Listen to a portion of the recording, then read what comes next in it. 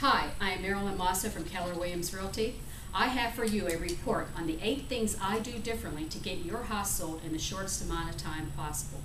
Go to homelistingspittsburgh.com now for this exclusive report.